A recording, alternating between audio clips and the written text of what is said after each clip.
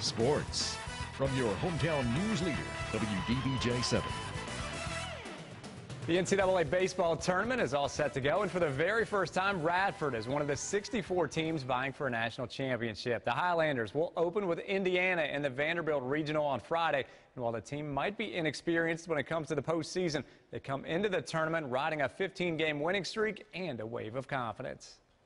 Well, we're ready. I mean, we, we've you know we pitch well, we defend well, and, and and every on day every day there's so many different on offense that gives us the opportunity to win. And uh, last month, month and a half, I'm not sure anybody in the NCAA has played as well as we have.